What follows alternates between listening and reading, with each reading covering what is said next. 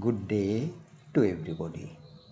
Today we are meeting again through Ranaweera Associates YouTube channel Tax Talk to discuss Social Security Contribution Levy. Now in this the bill is already gazetted on 21st of this month.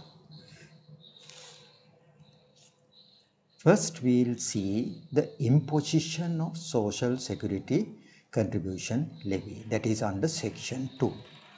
Now the taxable person under this law they have recognized four people as taxable person importers manufacturers service providers then wholesale and retail traders now in the case of importers they are liable to pay the social responses uh, uh, social security contribution levy on the total value of import.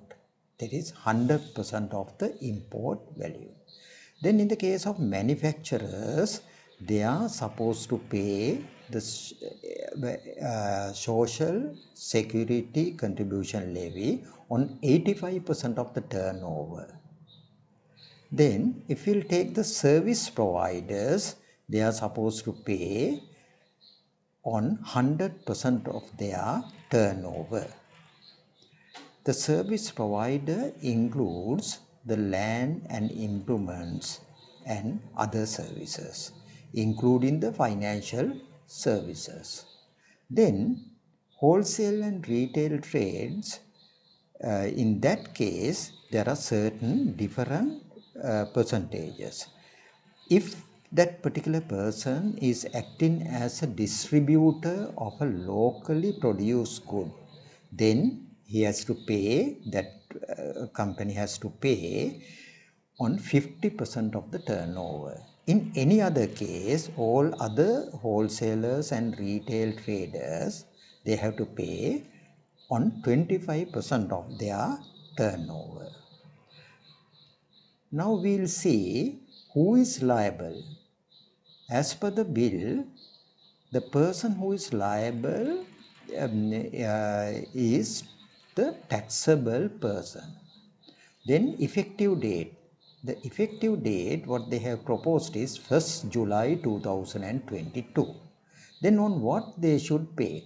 That is on liable turnover. This liable turnover is as per the second schedule to the bill. As I mentioned earlier, on importers on 100% turnover, on manufacturers on 85% of turnover, on service providers including financial services on 100% of the turnover, on uh, locally manufactured good uh, distributors on 50% of the turnover and on other traders on 25% of the turnover. The rate, uh, applicable rate, it is 2.5% on the total turnover. But here the relevant turnover excludes the bad debts, the VAT component and any rebate received under the export development rebate scheme. Those three items, bad debts, VATs and the rebates, to, uh, this particular rebate to be removed and on the balance turnover, they have to pay 2.5% tax. Then how to register? Every taxable person other than the importers, this is not applicable for importers, other than the importer, they should get their registration on or before 15th of July 2022. Now, if they are having, only if they are having a taxable activity, as we mentioned, there are four categories. Then, the threshold. Now, for this, there's a threshold. Now, this threshold is for the registration. If your turnover for the year 1st July 2021 to 30th June 2022, that past one year. If your turnover is exceeding 120 million, then you are supposed to get the registration by 15th of July 2022. In any other case, in future, after 1st July 2022, after 1st July 2022, if any quarter's turnover exceeds 30 million rupees then that particular person should get the registration. Then if a person meets the threshold over a single isolated transaction the commissioner general can ignore that particular transaction for the purpose of registration then if Commissioner General of Inland Revenue recognize with the nature of activity, a person is required to get the registration. Even that particular person is not meeting these two criteria, the threshold, the Commissioner General can register that particular person. Then how to cancel this registration? This cancellation of this registration could be done only after 12 months of the original registration. Only after 12 months of the original registration. Right. Then there should be some valid reason. One reason is cessation of business. If you have stopped your business, then you can get, the, get your registration cancelled. Or if your aggregate turnover for a quarter reduce less than 30 million rupees a quarter and does not exceed 100, 120 million per annum. Right. Per quarter 30 million and all four quarters it should not be more than 120 million. Then Regarding the cancellation, Commissioner General Inland Revenue can inform such person of the date of the cancellation. That is very important, the date of the cancellation. Then, continuation of liability upon cancellation of the registration. If you get cancel your registration, even after that, for the past period, that particular person is liable under this particular act, only for the past period. Then registered taxable persons due to, to notify the changes. When you are getting the registration, you are in, giving some information. There are any changes of those information subsequently, you are supposed to notify that to the Commissioner General. The things like name, address, place at which the taxable activity is carried on or carried out. Then the nature of the taxable activity or the persons authorized to sign the returns and other documents. Then the change of ownership of that activity. If any of these things happen, you are supposed to inform that fact to the Commissioner General of Inland Revenue within 14 days of that change. Now we will talk about the tax returns. Under this law, you are supposed to file the tax returns on quarterly basis after ending the quarter, the subsequent month, 20th of the subsequent month, or no, before 20th of the subsequent month, you are supposed to file the return. Then the assistant commissioner shall issue a notice to a person who failed to submit the return within 14 days of such return. Such notice, that particular person is supposed to file the return if you have failed. failed then the assistant commissioner shall acknowledge the receipt of the return only if it receives a, uh, in a proper return. It, if it is only a proper return, he will acknowledge it. Then, for the purpose of obtaining full information in respect of the turnover of any registered person, the assistant commissioner may give notice to that particular person. Now in all ways it says in writing or by way of electronic means. Failure to comply with the provisions may subject to penalties. Then we will talk about the assessments. Now we file the return. Um, uh, then we will talk about the assessment. Under the following circumstances, an assistant commissioner may issue assess and issue the notice of assessment. If that particular person failed to furnish a return, he is registered but failed to furnish a return for that for a quarter, then failed to pay the levy. Then third, requests to make any alteration or addition to the return already furnished. In, in any of these three cases, the commissioner, assistant commissioner can assess and issue a assessment. Yes. Now we'll discuss about the power of the assistant commissioner to determine the open market price. Now sometimes the registered persons might understate the open market price value.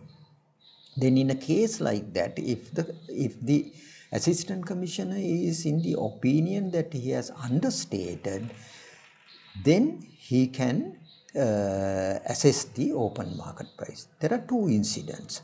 Sold any article or service for a value less than the open market price or entered into a transaction between two associated persons.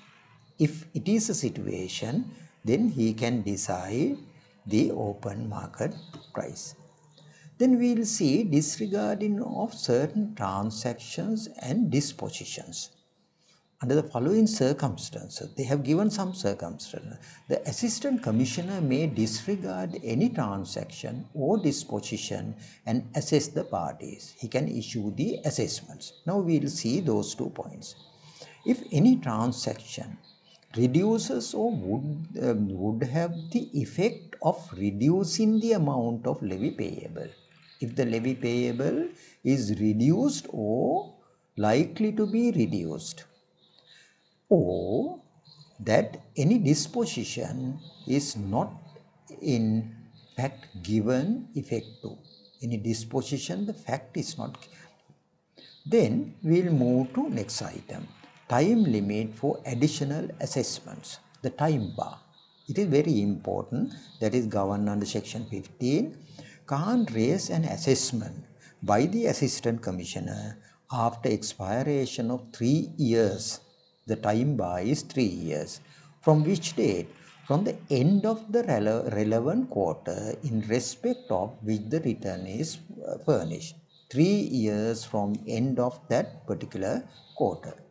Now we'll talk about the payments and collection of levy. The accounting basis, it is given, the accounting basis has to be on accrual basis. Then the payment of levy. As I mentioned, the, the levy to be paid on or before the 20th day immediately succeeding the month uh, of the relevant quarter. Then default payment default payment. Until end of first month, there's a 10% penalty. End of first month. First, for the first month, there's a 10% penalty.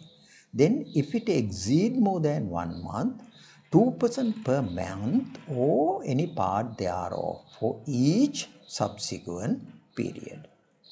That means 10%, 12%, 14%, likewise it is increasing. Then we'll talk about the collection of levy by the Director General of Customs. As we mentioned, importers also to be paid. If importers also to be paid, they should the, the tax to be levied to be collected at the time of customs clearance. Therefore, DGC shall collect from every taxable person in respect of every article imported by such person at the time such article is imported.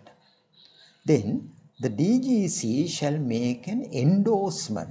As he is collecting, he shall make an endorsement on the import uh, invoice, specifying the amount so collected. In the assessment notice, he should mention that. Then appeals, we will talk about the appeals.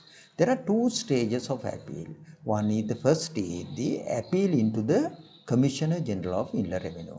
Then the second stage is appealing to the Tax Appeal Commission. First we will see the appealing to the Commissioner General. Any registered person or any person whose registration has been cancelled because we said even in a case cancellation for the past period he is responsible. Therefore, who is dissatisfied with any assessment additional assessment or penalty may appeal against that within 30 days from the from the appeal, from the assessment within 30 days after service in the assessment. Once you receive the assessment from that day onward within 30 days you are supposed to appeal. An appeal is to be acknowledged. Now then once you submit an appeal it is to be acknowledged by the department within 30 days of receipt of that. Then every appeal shall be agreed. Now when they should agree, agreed or determined by the Commissioner General of Inland Revenue within a period of two years. There the appeal finalization period is two years from which date? From the date on which such appeal is received. Then I have put a note, note, please be noted that the process of appealing, then appeal hearing is more or less similar to the Inland Revenue Act. Then the appeal to the Tax Appeal Commission. The, the, any person aggrieved with the determination of the Commissioner General can appeal to the Tax Appeal Commission. Can appeal to the appeal commission. We'll see the fi um, finality of assessment where no valid appeal to the Commissioner General. Now you receive an assessment but you are not appealing. Then it is getting finalized. Or Commissioner General has determined the amount of the levy on appeal. Now, Commissioner General has decided, uh, determined the amount that is uh, finalized. Then it is finalized. But you have the option to appeal to the Tax Appeal Commission. I have given a note, note, nothing in this section shall prevent an assistant commissioner from making an assessment or additional assessment for any relevant year if it does not involve any matter which has already been determined on appeal. Now in an appeal we determine something no even after this determination Commissioner General of uh, the Assistant Commissioner can make further assessments or any additional assessment which is not covered earlier. Now we'll talk about the recovery of levy. How to recover. Levy includes a penalty. It says a levy is inclusion of a penalty imposed, already imposed. Levy in default shall be the first charge. It is the first charge on all the assets of the defaulter. Where any levy is in default, the Commissioner General shall before proceeding to the to recover such uh, levy shall issue a default notice. Commissioner General should issue a default notice. Where an assessment has been made and the defaulter has not appealed within 30 days, that means you have not submitted your normal appeal. In a case like that, now this is the chance for you to lodge an objection against the default notice. You can lodge an objection, not appeal, objection right? Then we'll talk about the liability of certain special persons. In the case of trustees and executors those trustees and executors are severally and jointly responsible for this levy to settle the levy then regulations, we'll talk about how to make regulations. Now even in this case, the minister has given some authority to make certain regulations which is prescribed in the law. Only the things which is prescribed in the law, like in the VAT law, to change the VAT rate. Likewise, here there are certain things which are prescribed, right? Then every regulation made by the minister shall come into operation on the date of publication in the Gazette. From that day onward, or any future date what he has mentioned, from that day it is valid. But within three, three months of that publication, the minister has to put that to the parliament and get it approved. That is very much important. Now we'll talk about the exempted articles and services. The first one, any article exported by the manufacturer. If the manufacturer himself exported it, that is exempted. Then any article not being a plant machinery fixture imported for the uh, for, uh, by any person exclusively for the use in or for the manufacture of any article for export. Then any article sold by a taxable person to any exporter that is indirect exports are also exempted. Then any article which is imported for these purposes, temporary imports. We will see what are the purposes. For the display at an exhibition. For temporary usage um, in Sri Lanka for any project. Then for the purpose of repairs of any article. For those things if you import something that is exempted from that. But with relate to these repairs, it says repairs to that article to be carried out in Sri Lanka. Then other articles listed in part 1A and part 1B of the first schedule to the bill. There's a lengthy schedule. There are two lengthy schedules in part 1A and part 1-2. Then the services listed in part 2 of the first schedule to the bill that is listed in part 2 of the first schedule. Those are direct and indirect services are direct and indirect services with relate to export sector is covered with that. Now, for you, I have not given the list of all these exemptions.